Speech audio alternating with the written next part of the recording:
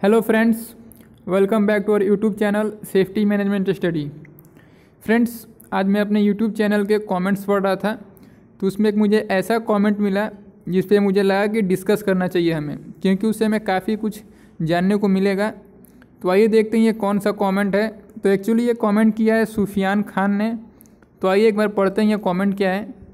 इन्होंने कहा है सर, पीपी सबसे लास्ट में क्यों आता है बल्कि फ़र्स्ट सेफ्टी है? फिर भी पीपी लास्ट में क्यों बताया जाता है? और पीपी से पहले क्या क्या आता है? उसके बारे में बताइए।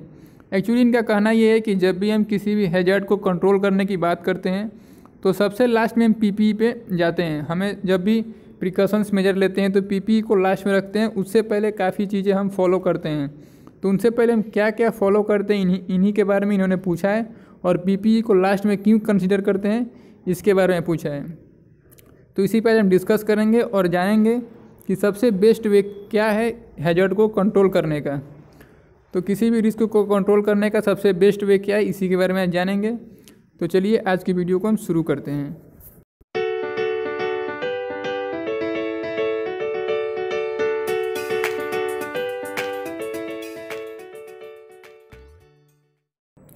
आई थिंक कि आप सभी को पता होगा हरारकी ऑफ़ हैजर्ड कंट्रोल और रिस्क कंट्रोल क्या होता है।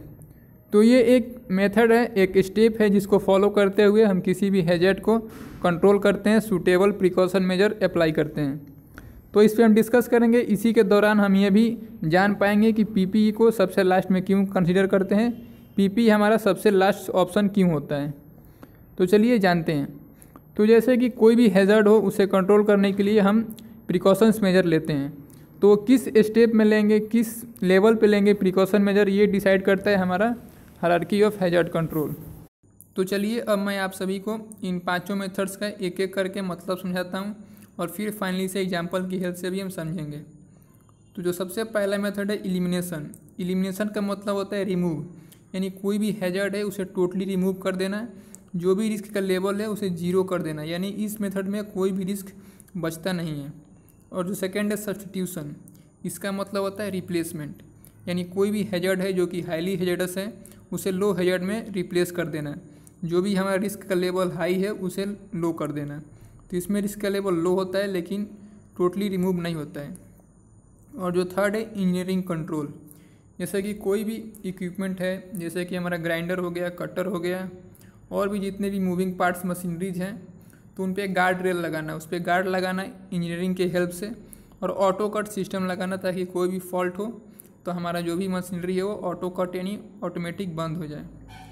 और जो फोर्थ है एडमिनिस्ट्रेटिव कंट्रोल यानी मैनेजमेंट कंट्रोल इसमें हम वर्कर को ट्रेनिंग देते हैं safe system of work apply करते हैं, जैसे कि रिस्क असेसमेंट हो गया परमिट टू वर्क हो गया तो ये सारी चीज़ें हम एडमिनिस्ट्रेटिव कंट्रोल में अप्लाई करते हैं।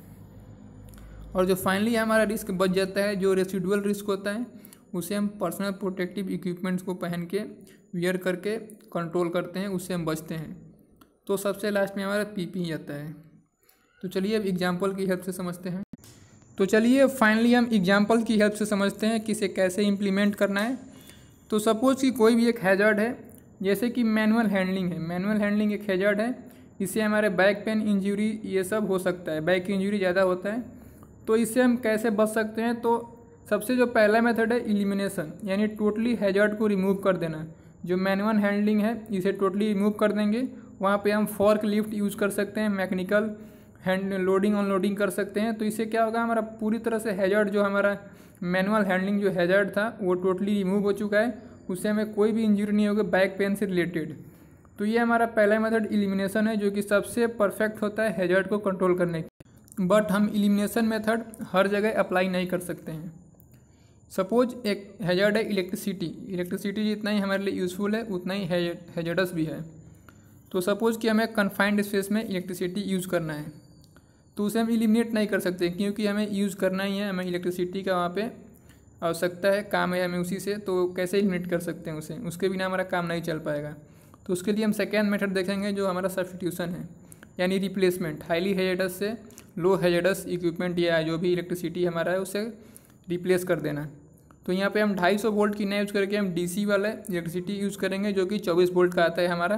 बैटरी से हम यूज़ कर सकते हैं, उससे हमें भी सफिशियंट इल्यूमिनेशन या लाइटिंग मिल सकता है। तो यहाँ पे हम ढाई सौ वोल्ट यूज़ ना करके चौबीस वोल्ट यूज़ करेंगे तो ये हमारा हो गया सब्सटीट्यूशन यानी रिप्लेसमेंट हमारा जो हाई रिस्क था, वो लो रिस्क में कन्वर्ट हो चुका है तो ये हमारा सेकेंड मेथड है। अब देखिए इंजीनियरिंग कंट्रोल तो जैसे कि हमारा टूल एक है, मान लीजिए ग्राइंडर है तो ग्राइंडर हो या कटर हो, उसे हम कट, कटिंग करने वाले हैं रॉड को तो उसे हम ना ही इलिमिनेट कर सकते हैं क्योंकि हमें कटिंग करना ही है, और उसमें सब्सटीट्यूशन भी नहीं कर सकते हैं, क्योंकि जो भी कटिंग होता है, जो भी ग्राइंडिंग होता है तो ये चौबीस वोल्ट पे या लो इलेक्ट्रिसिटी पे नहीं कर सकते हैं तो इसमें सब्सटीट्यूशन भी नहीं कर सकते हैं। तो इसके लिए हम सबसे परफेक्ट इंजीनियरिंग कंट्रोल लगा सकते हैं, यानी जो भी हमारा ग्राइंडर है कटर है, उस पर अच्छे से गार्ड दे सकते हैं। जो भी हमारा इलेक्ट्रिसिटी सिस्टम है, उसमें ऑटो कट लगा सकते हैं ताकि कोई भी फॉल्ट हो तो ऑटो ऑटोमेटिक इलेक्ट्रिसिटी कट हो जाए। तो ये हम यहाँ पे सूटेबली लगा सकते हैं इंजीनियरिंग कंट्रोल अब सपोज़ कि हमें 250 वोल्ट की इलेक्ट्रिसिटी यूज़ ही करना है तो हम अपने वर्कर को ट्रेंड कर सकते हैं, जिसमें कि एडमिनिस्ट्रेटिव कंट्रोल हमारा हेल्प करेगा मैनेजमेंट हेल्प करेगा वर्कर को ट्रेनिंग देगा। और सूटेबल रिस्क असेसमेंट करेगा ताकि हम हेजर्ड को आइडेंटिफाई कर सकें, अच्छे से परमिट होगा इशू होगा। तो ये सारे एडमिनिस्ट्रेटिव कंट्रोल से हम उस हेजर्ड पे काबू पा सकते हैं। अब जो फाइनली हमारा जो हेजर्ड बच गया, कुछ तो हम पर्सनल प्रोटेक्टिव इक्विपमेंट यूज़ कर सकते हैं। तो जो उन्होंने क्वेश्चन किया था, जो हमें पहले आपको दिखाया कमेंट तो उन्होंने कहा था कि पीपी को हम लास्ट में क्यों लेते हैं? तो पीपी हमारा जो है हेजर्ड को कंट्रोल नहीं करता है। जैसे कि सपोज़ कि हम इलेक्ट्रिसिटी यूज़ कर रहे हैं। तो अगर हम हैंड ग्लोव्स पहन लेते हैं तो इलेक्ट्रिसिटी ख़त्म तो नहीं हो जाती है। ना ही वो मिनिमाइज होगा इलेक्ट्रिसिटी हमारा ऑलवेज प्रजेंट रहेगा। तो ये जो पीपी है हमारा हेजर्ड को रिमूव या एलिमिनेट कुछ भी नहीं करता है। ये केवल एक बैरियर यानी एक रुकावट बनाता है वर्कर्स के और हेजर्ड के बीच में। हेजर्ड ऑलरेडी मौजूद होता है। जैसे कि हम फुल बॉडी हार्नेस पहन के हाइट पे काम करते हैं तो सपोज़ कोई वर्कर गिरता है तो ज़मीन पे तो नहीं गिरेगा पीपी उसे रोक लेगा फुल बॉडी जो हार्नेस है। लेकिन फिर भी उसे चोट लगने के चांस होंगे, उसके बाजू वगैरह छिल सकता है, कमर दब सकता है तो ये सारे इसके पीपी का कह लीजिए कि ड्रॉबैक्स है, यानी इसके नुकसान हैं। तो पीपी को हम सबसे लास्ट में रखते हैं, क्योंकि पीपी से हमारा हेजर्ड कभी भी कंट्रोल नहीं होता है। बस एक बैरिगेशन होता है, उसमें रुकावट बनता है और कुछ नहीं, बस यही पीपीई का यूज़ है। इसीलिए हम पीपीई को लास्ट में कंसिडर करते हैं। तो आई होप कि आपको ये वीडियो पसंद आया होगा। So thank you for watching thanks